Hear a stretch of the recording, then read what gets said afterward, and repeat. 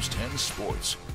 All right, March Madness is uh, one of the most exciting times in sports, seemingly any collegiate program across the country with the chance to step into the spotlight. That's right. The Georgia Southwestern Lady Canes are one of eight women's Division II basketball teams with a shot to become national champions.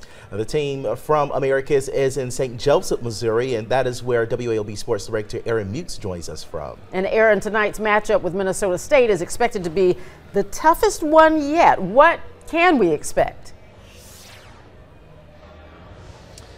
Yeah, Carla, think about what it's been all season long. Every test since the Peach Belt Conference tournament has been the toughest test for this team. But this continu- this team continues to not waver. And it's one thing that they've prided themselves on is not letting any challenge become too much for them. And they've answered those questions each and every time.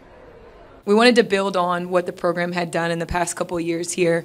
Um, last year, making a, a Sweet 16 appearance and then falling short in that game. And um, we have three returners, but we had a lot of newcomers that had won at a high level and have been really close to to winning something really special, and that was part of why they came to Georgia Southwestern. We just kind of decided, hey, we're not going to talk about the end anymore. Let's just be really present and let's soak up the journey and let's take one game at a time. And um, something that kind of became our mantra is the best way to take care of tomorrow is to take care of today and to take care of tomorrow, they do have to take care of today. It's going to be a tough challenge. They got Minnesota State. This is a guard-heavy team that likes to put pressure defensively.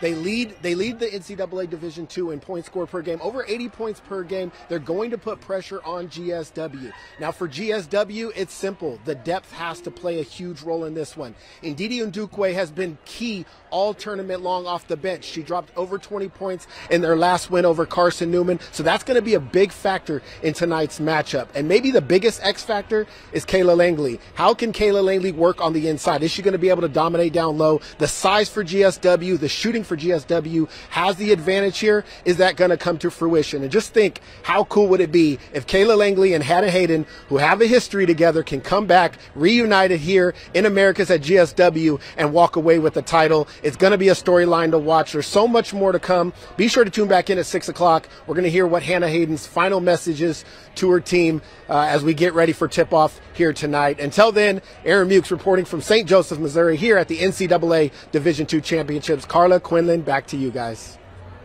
Definitely.